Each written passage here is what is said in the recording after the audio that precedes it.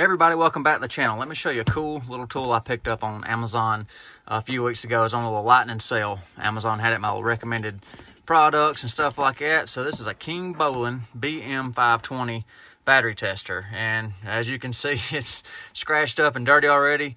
Been using the hound out of it. I'm gonna show what I've been using it for and uh, testing on a couple other different things today. But so far, I've really enjoyed this little affordable battery tester. So let's get right into it.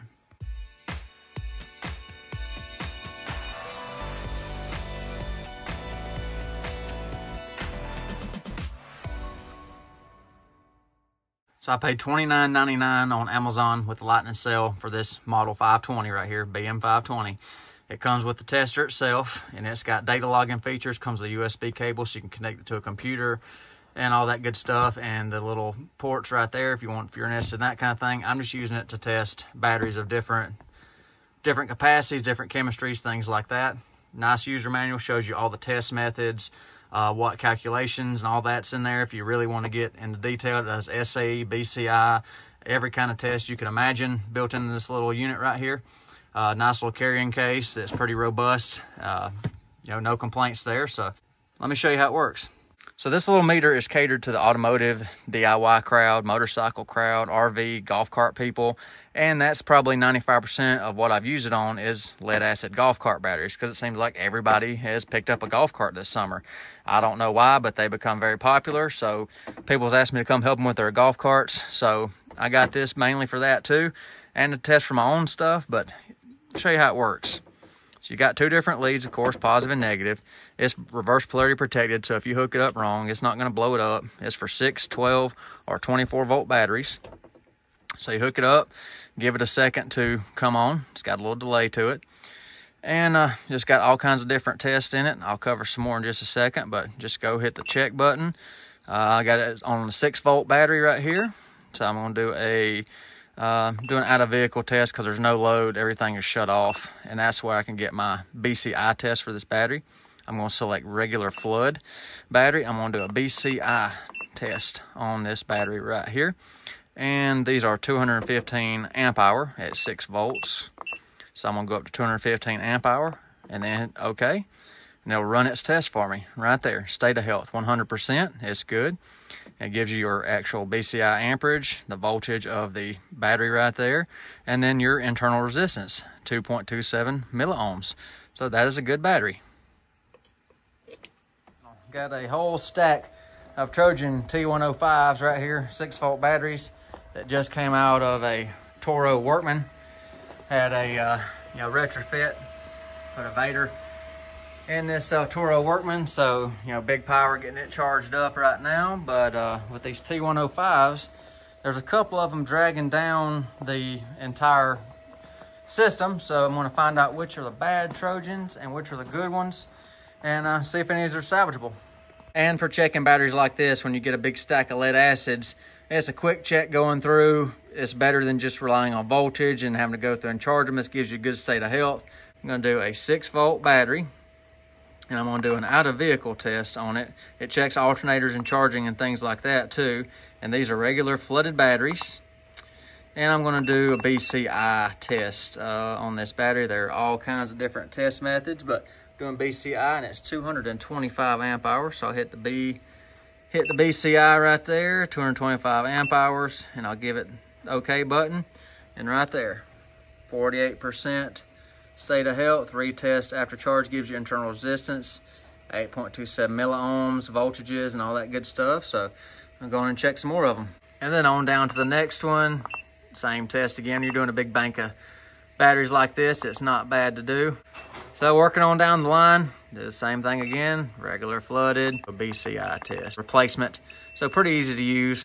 And then this is what it's mainly catered for right here. This is where the unit shines. It's a very similar consumer grade setup of what's at your O'Reilly's or your Advanced Auto Parts, places like that. Automotive application now, Optima AGM spiral cell battery. So we'll do a check on it, 12 volt.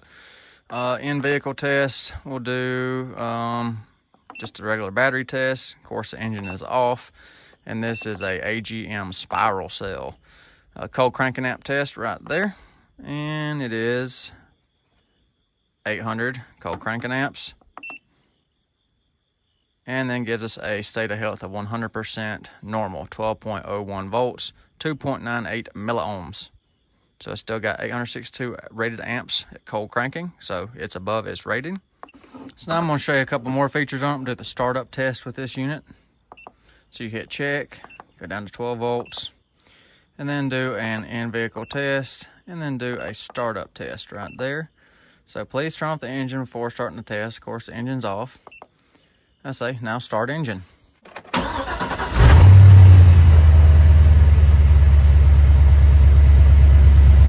All right, so the starting ability was normal on that.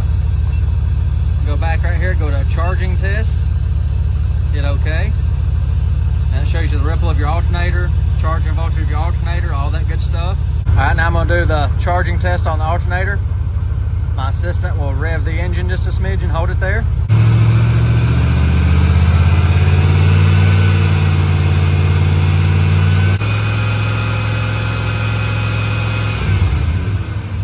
There's the charging test.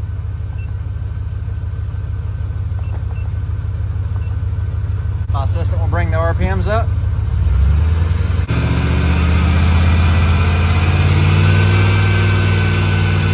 That's good as well. Let's just hit the waveform while it's hooked up to the alternator right there.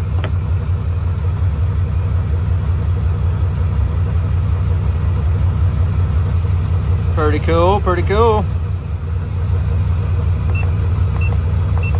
And then hit the multimeter function while I'm connected and see what it shows. Right there. Nice. Another Optima in a different vehicle that rarely gets driven. Let's check it. Hadn't been running in a few weeks, so be a good example if it picks up any draws or any parasitic loads on the battery. So I'm gonna do an in-vehicle test on this battery and just do a battery test. And of course the engine is off.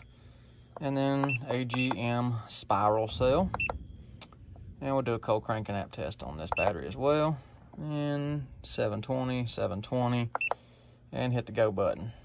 All right, see it's at 11.90 volts. It needs to be recharged and checked again. So you know, got a little parasitic load with normal for modern vehicles. So right there, I need to crank it up, charge it, and then check the cold cranking again. But it went at 713 out of a possible 720. Good thing I checked this battery. I didn't think it was was that low or been that long, but you saw the meter right there. The KINGBOLEN meter showed 11.9. There's what the Klein's showing, 11.98 on it. So uh, yeah, it is low. So I need to crank it up and let it charge up and top off. And I've got the KINGBOLEN hooked to a lithium iron phosphate battery. Not listed for this, but I've been using it to check internal resistance.